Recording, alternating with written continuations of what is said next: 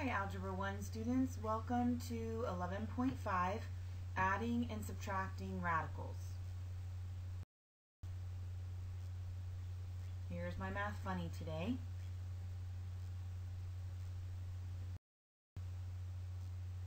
Okay, so we have your first definition.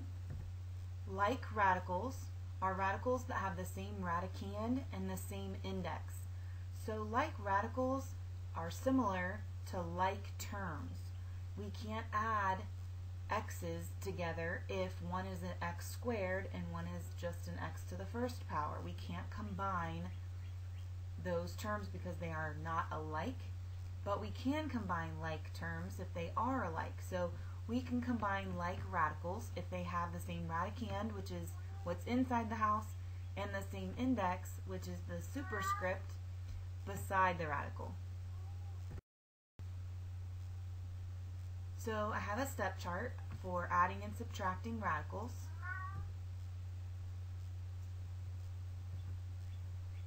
First we want to simplify each radical. So if anything can come out of the of the house, we want to take it out first.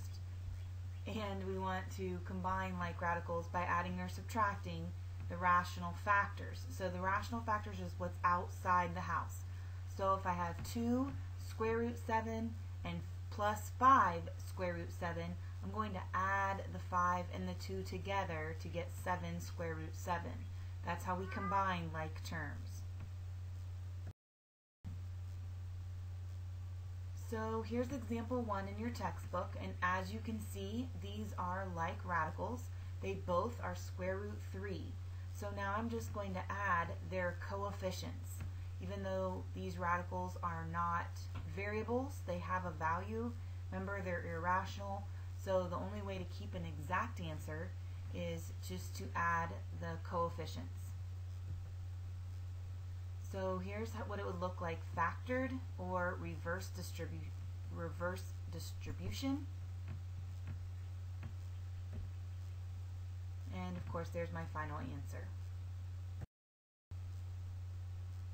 Another example, first step says simplify the radical. So I have to see if something can come out of these radicals. It looks like square root 45. I have a perfect square 9 that I know that I can take out and same with the square root 18. So when I take that square root 9, which is 3, right, that means I have two 3's inside the house, one can come out. I'm left with 3 square root 5 plus 3 square root 2 minus square root 5. The only like radicals I have are square root 5. So my square root 2 has to stay there. So I have a positive 3 square root 5 and a negative 1 square root 5. which will give me the 2 square root 5 plus 3 square root 2. Now this is my final answer. I know it's not as pretty as you guys like regular decimals, but again, a way to check our answers is to put in the whole problem, so square root 45 plus square root 18 minus square root 5, and see what our calculator says that crazy decimal is, then put in our answer, and it better be exactly the same crazy decimal. Okay, so in general, here's a rule that we can follow. If the square root of one number plus the square root of a totally different number, they are not going to be equal to putting a plus between them under the radical sign. Of course, there's like a couple numbers where that works out real nice for us, but in general, this is not true, where those two cannot go in the same house with a plus sign. So please don't do that. It's um, bad math grammar and it makes puppies cry, right? Okay, so we have a new index here of a cube root. We have negative 8 cube root 5 plus 9 cube root 40 minus 2 cube root 135. So the first step says to simplify our radical, which means we are looking for groups of 3 of the same number to come out. So that's not going to happen for just 5 under our first term.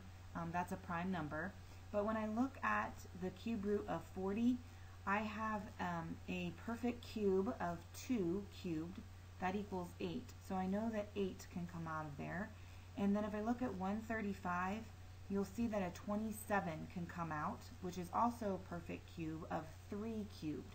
So if you prime factor this, you'll see you have 3, um, three twos times 5 for the cube root of 40, and you'll have 3 threes times 5 for the cube root of 135. So when I take those numbers out, when I take a 2 out of the cube root 40 and I multiply it times 9, that's where I got my 18 there. Nothing happened to the first term, just to be clear. Nothing happened to the first term. The second term I took out a 2, so now 2 times 9 is 18.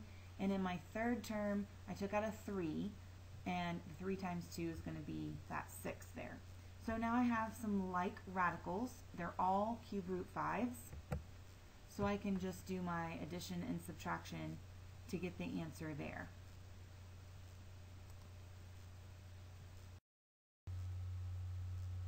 Okay, so example 4. Again, I need to simplify them back to square roots now. Um, a perfect square, we're going to see if something can come out of square root 50. Square root x is just going to have to stay in that house. I already know that. And then I have square root 8 and the square root of x cubed. That means 1x is going to stay in and 1x can come out. Also, I have a perfect square 4 that can come out of that 8. I have a perfect square 25 that should be able to come out of that 50, which leaves me with this. So I have like radicals now. And when I combine my like terms, I'm sorry, when I multiply, I end up seeing that yes, I do have like radicals, but notice they're going to cancel each other out. At 10x square root 2x minus 10x square root 2x is just 0. So all that work, I know, just to get 0, but we didn't know unless we simplified. Okay, example 5. Do you see, hopefully you're seeing a pattern. I need to always simplify my radical, then combine my like radicals, and then I'm done. The, there's literally, it seems like there's only two steps. That simplify step sometimes takes a couple lines of paper, but other than that, that's what you're working on. So I have square root 2x squared. That means 2 is going to have to stay in the radical, but x can come out. Square root 75x to the fourth. Looks like I can take two x's out because I have 4 in there. And again, it looks like a 25. I'm going to have a square root 25, so 5 is going to be able to come out. Um, and I'll be left with a square root 3. Nothing can happen on the third term. The fourth term, I have square root 18. Square root 9 can come out of that. So this is what I'm left with when I simplify my radicals. I have two terms that have square root 3 on them, so those are like terms. The, the variables have to be the same too, so, and that is the case. I have x squareds there, so I'm good with that. Then it has two um, terms that have square root 2, x square root 2 to be exact, so I can combine those as well.